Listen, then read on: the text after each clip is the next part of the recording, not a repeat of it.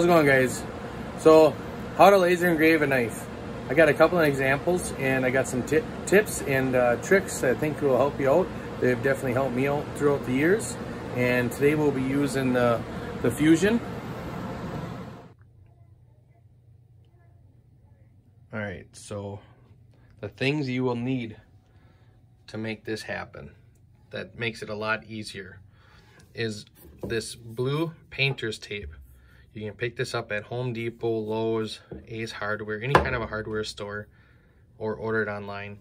This has helped a tremendous amount and for as far as making jigs and other items that I use that you'll see a lot of this in the videos that I make. Excuse me. Then you need a chunk of wood, however thickness your laser can cut and you'll see this jig in my example on the computer. And I use a lot of this uh, wood from I believe it's Home Depot I get it from unless I go to Menards but I don't know what you guys have in your area or type of the world that you're in. This knife is what we'll be lasering today. It has the back side then it's got this little clip here. And the top of this clip right here will sit right up in here and that tight into this corner. Sorry about that, it's tight in this corner here. And then this little part here will sit up here. So I know it's gonna be the same spot every single time. See that? It works pretty good. I've used this one for a long time already. All right, so now I got it up in the corner and now we'll go and I'll show you how I made that jig. And once you make that one and you feel comfortable with it, then you can copy and paste and make a big one, however big your bed is. And we can do multiple knives at one time and walk away from it. You don't have to worry about switching out one after another. It makes it a lot, a lot more efficient. So all right, now you've seen that. Let's go to the computer and I'll show you the rest. Okay, so now that we have the program opened, what I'd like to do is I'll draw this square just as I was showing you and then how this cutout here so when that goes up in the bed of the laser in the corner then you know where the knife's gonna be so what I do to get where I know where I'm gonna laser on the knife I like to take the picture of the knife and then I take the measurements of the knife so I know it's the same size. See how I cropped the picture? And to crop it, you click the photo and you go up to here to crop tool. and then you go in, you hold down, go to the other corner, and then you can bring these tabs in and out to crop the picture. So now I know it's the closest size from there to that to this end and then from end to end from left to right. So now what we're gonna do is hit control spacebar and that'll take you out of whatever command you're in. Brings you back to this mouse command.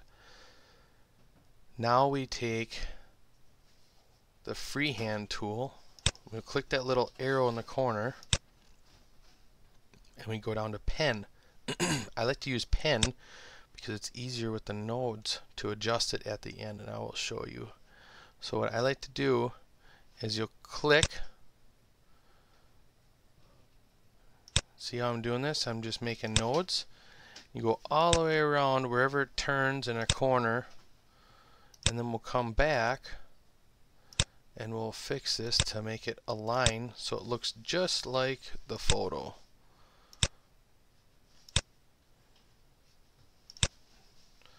So now once that is done, you go up here to Shape Tool. Click Shape Tool. And you can zoom in now, and you'll grab this line.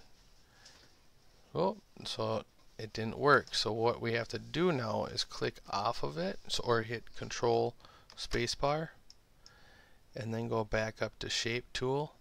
Click Shape Tool, and then we're going to want to highlight all of these nodes and then right click over the node and then go to to curve. once you have that zoom in a little more. Now you should be able to grab them and pull them right around.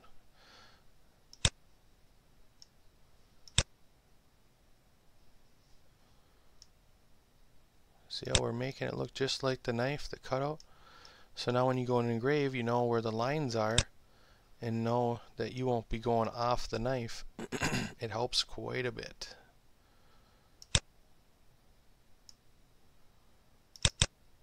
add another node. If you want to add another node, you double click and then you want to right click on it and you want to cusp it. Then you can pull that out. We'll make this go a little more nice and curved.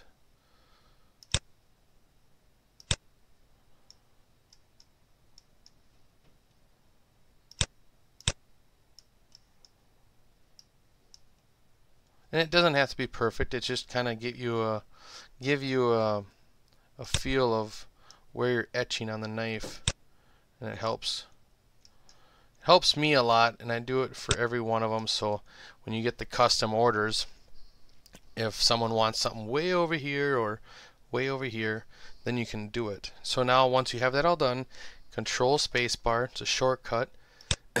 Now you have the knife which is drawing right here so then what I did for this one is I went up to here where it says outline width.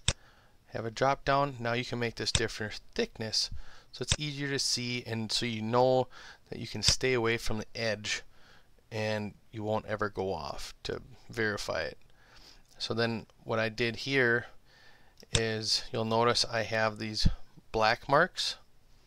So I also drew that over the screw holes.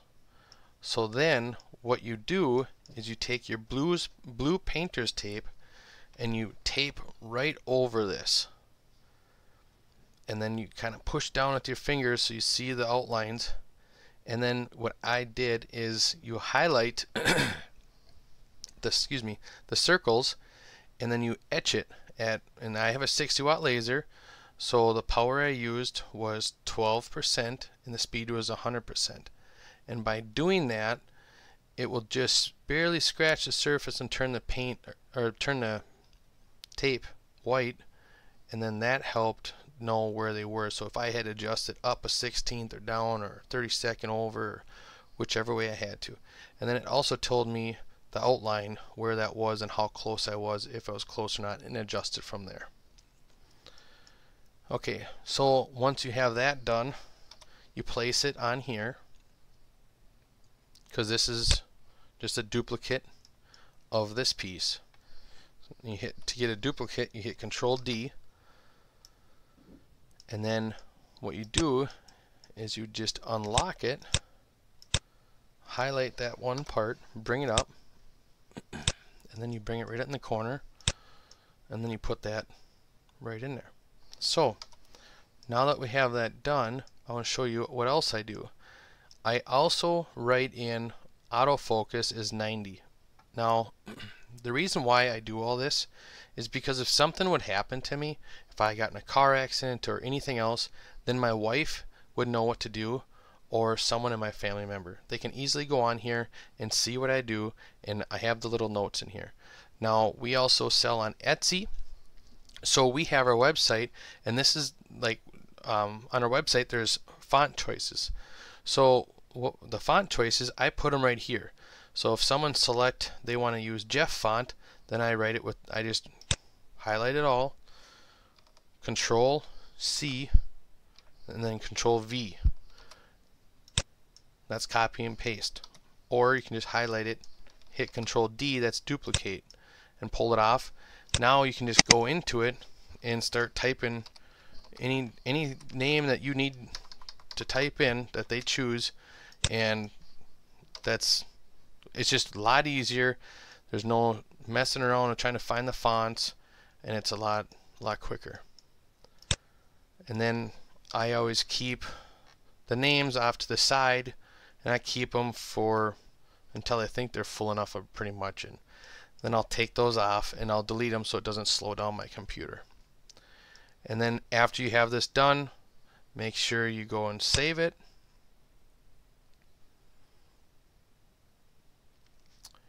And should be good to go. Then give it a try. I hope this helped. And please let me know if there's anything else that I can help with in the comments down below. Please comment, like, and subscribe. Thanks.